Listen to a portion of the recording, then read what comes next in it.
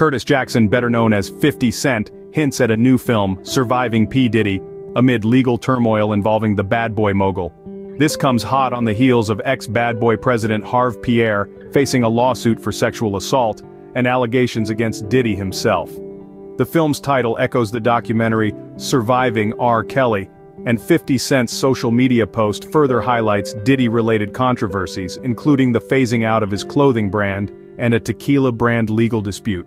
While Diddy is not named in the lawsuit against Pierre, Bad Boy Entertainment, Bad Boy Records and Combs Enterprises are co-defendants, accused of negligence and gender violence. Stay tuned for more updates on this unfolding narrative.